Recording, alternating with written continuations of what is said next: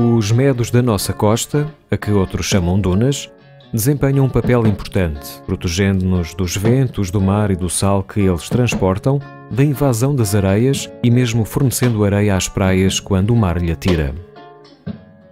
Mas os medos são também um ecossistema particularmente frágil e delicado que se degrada com grande facilidade e só a muito custo se consegue recuperar. Este verdadeiro milagre da natureza, no entanto, está por vezes estragado pela ação humana. Lixo, em especial plásticos e entulhos de obra, e a passagem de veículos motorizados fora dos trilhos contribuem fortemente para degradar este pedaço da nossa terra. Temos que proteger o que é nosso, mas temos também que chamar a atenção dos que nos visitam para que respeitem a natureza na nossa terra.